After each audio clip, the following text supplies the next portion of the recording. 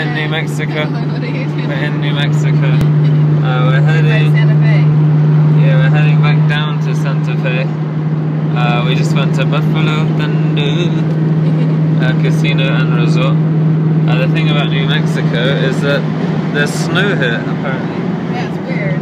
Snow-topped mountains, snow on the ground. There is snow here. Uh, you can see it's very desert-like, so we only packed one pair of pants.